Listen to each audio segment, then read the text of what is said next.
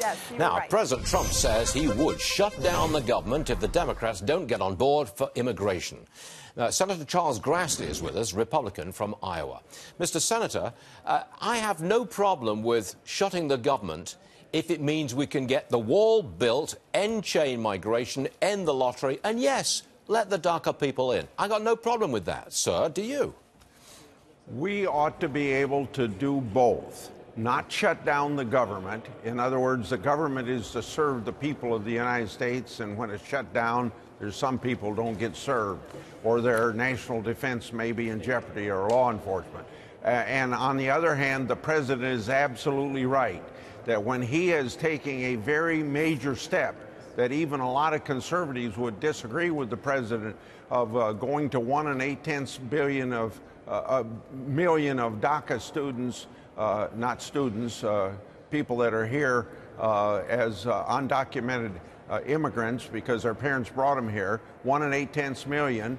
There, everybody in the uh, immigration community ought to be applauding it, particularly when there's a path to citizenship after 10 or 12 years. And then the wall, and then doing away with chain migration so we get more people here based upon how they help our economy, and doing away with the diversity visa. We can do all of those at one time, and the president ought to be applauded uh, for going the extra mile and irritating a lot of people that supported him. But uh, it seems to be the right thing to do when kids were brought here by their parents, uh, and they may be technically violating the law, but as a practical matter, their parents are the ones that violated the law.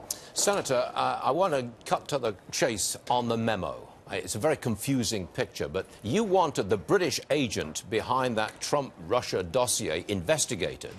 Does the memo drama discredit him, Mr. Steele, and the entirety of the Russia, Russia, Russia investigation?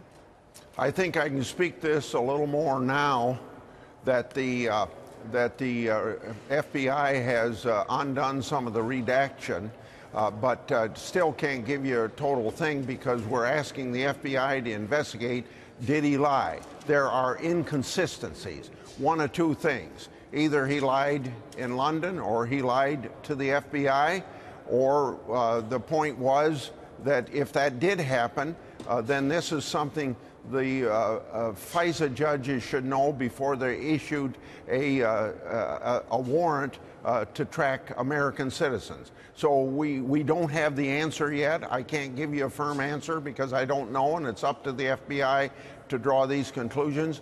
But the referral was because Senator Graham and I have suspicions that he may have lied, just like Flynn lied, and lying to the FBI is a crime. If it's a crime against Flynn, it ought to be a crime against Steele. I got it. I think, I think I'm following this. I'm, I'm trying hard, Mr. Senator, but it's a very complicated thing. I want to switch gears for a moment. We had the EPA chief, uh, Mr. Pruitt, on this show talking about the recent bankruptcy of a Pennsylvania oil refiner. Mr. Senator, you disagree with him about why the refinery was closed. Can you uh, give us more on that? Yeah, absolutely. First of all, he's saying that there ought to be some changes to the RINs. Uh, back in November 2017, his own agency decided that there didn't need to be any changes because the way the market is working with RINs works out perfectly. What is wrong with the uh, uh, eighth oldest refinery in America is that they can't compete. That's why they went into bankruptcy. They used to get oil fairly cheap from North Dakota because it could be done by rail. So North Dakota now has a pipeline they can send their uh, oil through to other further refining, uh, and it's not going to Philadelphia. That's one example. The other example is that uh, this refinery uh, sold last fall their RINs, uh, and, and they could have uh, gone into refining uh, and, uh, and mixing ethanol with petroleum as the law requires, but they decide not to do it. And those companies that have decided uh, to mix ethanol with, with petroleum uh, are, are operating very uh, equitably and efficiently under this system. So Okay. there's a lot of there's a lot of bad management decisions made by PES refinery. And you are the senator from Iowa, and Iowa is a big corn producer, which makes ethanol, I think. Is that, that the case, sir?